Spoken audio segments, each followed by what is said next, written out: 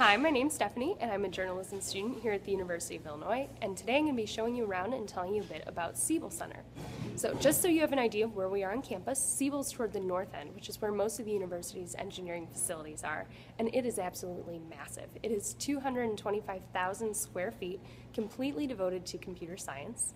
Um, so, it's home to our university's world renowned computer science department.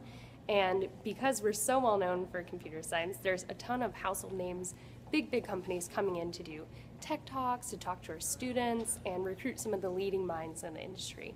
So some of those include Google, Yelp, Pinterest, Groupon, big, big names.